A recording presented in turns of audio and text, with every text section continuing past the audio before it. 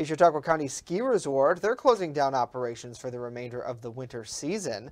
Cockaigne announcing the news Thursday, saying that they've uh, been uh, very challenging this year due to the mild temps and lack of snowfall too.